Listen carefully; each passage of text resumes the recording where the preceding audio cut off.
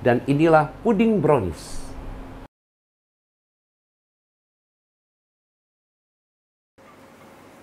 Pertama, panaskan butter, coklat, gula pasir, lalu aduk hingga meleleh semua. Setelah meleleh, masukkan terigu, coklat bubuk, maizena, dan baking powder.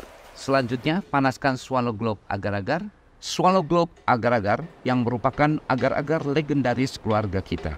Susu, pasta vanilla butter, dan masak hingga mendidih. Setelah itu, campurkan dengan adonan coklat dan aduk hingga merata. Lalu tuang ke loyang dan panggang selama 40 menit dengan suhu 160 derajat.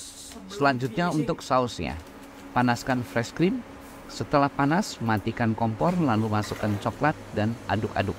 Setelah pudingnya matang, kita dinginkan dan setelah dingin beri dengan whipped cream lalu olesi secara merata. Terakhir, tuang saus di atasnya dan taburi choco chips.